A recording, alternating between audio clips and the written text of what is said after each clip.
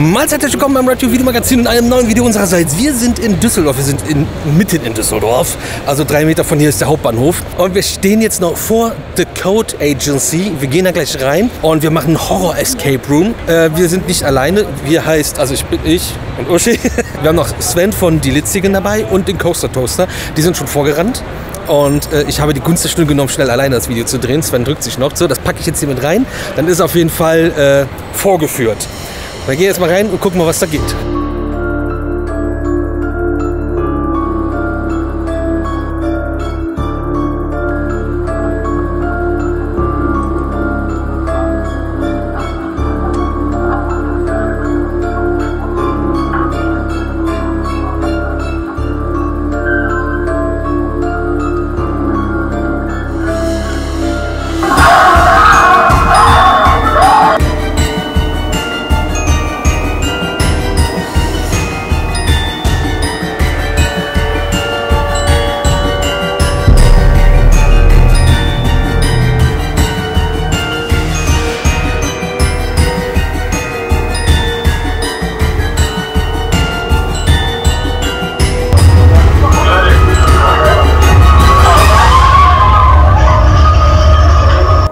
Haben gerade Es kommt zurückgespielt und den Ballon haben wir schon mal mit aus äh, dem Horror Escape Room mitgenommen. Richtig, richtig geil. Also wir haben jetzt noch nicht so viele Escape Rooms allgemein gemacht und das war der erste Horror Escape Room. Richtig geil. Ähm, also ich wurde auch ähm, ab und zu doch ordentlich gekriegt. Wir alle haben uns krass erschrocken und es ist eine geile Experience einfach mit allen zusammen. Und äh, es gibt keine Jumpscares, sondern du hast paar subtile Sachen und du bist halt voll in der Story drin und du spielst die komplette Story durch und erlebst also das, was man vielleicht zum Beispiel aus Filmen oder Büchern kennt und äh, kommt an einigen spannenden Punkten vorbei und hat auch nicht diese klassischen Rätsel, dass du jetzt irgendwie nur Zahlenschlösser lösen musst und irgendwelche Zahlenkombinationen, sondern du hast Aufgaben, die für die Story wichtig sind und spielst die Story halt durch. Ähm, ja, ich glaube, von außen sah das auch ziemlich witzig aus, wie wir uns teilweise erschrocken haben. Und äh, Uschi hat auf jeden Fall ähm, das Crowdsurfen in Krabbelposition erfunden. Und überhaupt, also wir haben, äh, du hast halt einfach diese Experience beim Spiel selbst, was voll geil ist, wo du halt rätselst und dann halt dieses, dieses Horrorerlebnis auch hast und den Zeitdruck hast, nicht durch die Zeit, die abläuft, wie man das sonst beim Escape Room hat, sondern du wirst von S quasi ja verfolgt. Und ähm, ja, also das treibt halt richtig voran. Und danach, wenn du durch bist, hast du auch noch mal die Experience, wenn du in der Runde zusammensitzt und das Ganze nochmal recapst und alle sich kaputt lachen. Ja, da haben wir das und das gemacht. Ah, wie du da geschrien hast. Ah. Und ähm, ja, die Aufgaben sind halt auch cool. Teilweise wird man getrennt.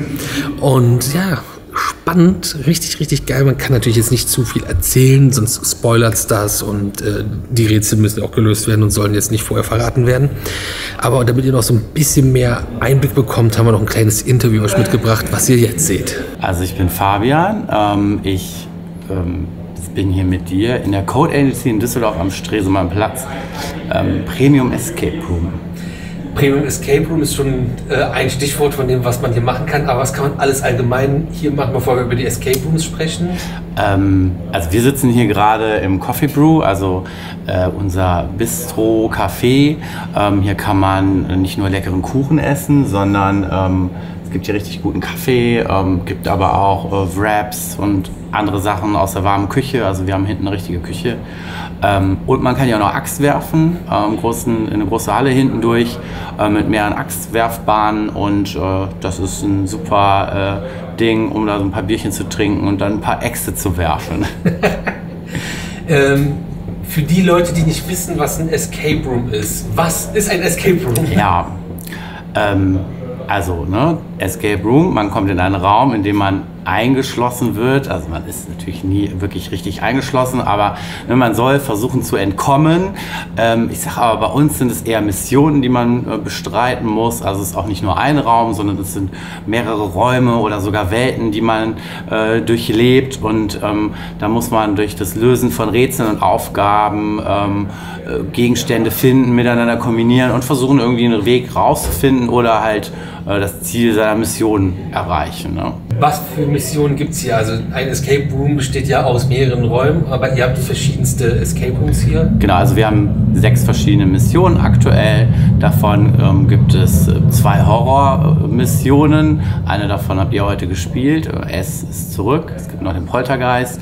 Ähm, dann haben wir einmal so ein ja eher so klassisch Mafia-Geschichte, das Erbe der Moretta. Ähm, dann für die Leute, die eher so zauberhafte Welten möchten, haben wir eine magische Welt, so angelehnt an andere magische Welten, die man vielleicht kennt. Sehr liebevoll gemacht. Ähm, und dann noch so zwei Abenteuermissionen, würde ich mal sagen, so aller ja, so ein bisschen Indiana Jones, ähm, aber auch da durchreist man verschiedene Welten und Zeiten. Ähm, das ist aber eher so die Adventure-Räume, würde ich sagen, ja. Ähm, was muss ich mitbringen, wenn ich so ein Escape Room spielen möchte? Die Lust darauf. Also einfach, du musst Bock drauf haben.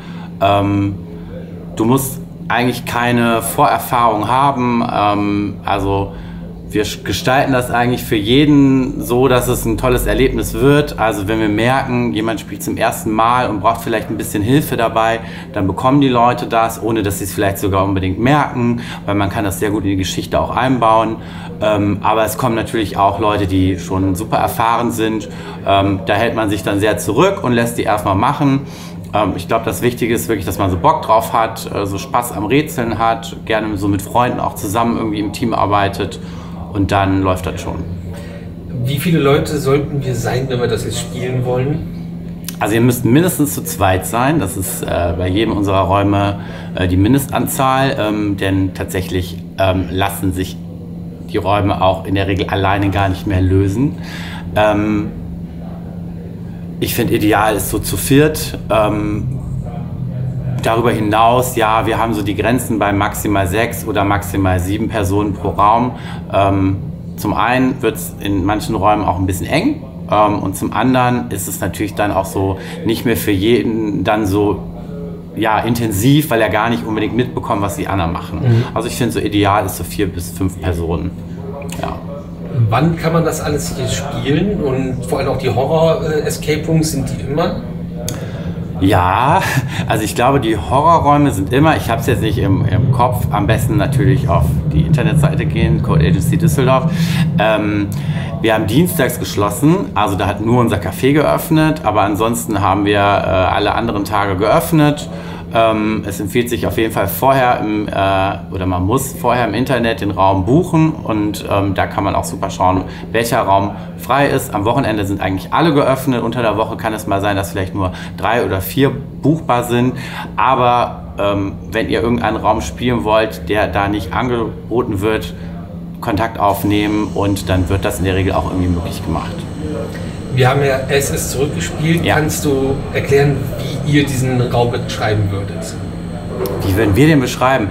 Also ich, äh, haben ja eben schon auch so ein bisschen drüber gesprochen, im Vergleich zum anderen Raum, den wir haben, ist es nicht so ein, ist es eher so ein psychischer Stress und äh, Leute, die Angst vor Clowns haben, ähm, für die ist es ganz, ganz schlimm.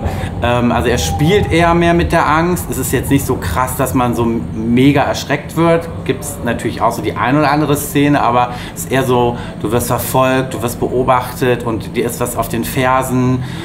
Du, manchmal siehst du Dinge, weiß nicht, ob du sie wirklich gesehen hast oder nur eine Person sieht sie und dann ist es schon wieder weg. Also so eher äh, psychisch, Psychohorror. Ja.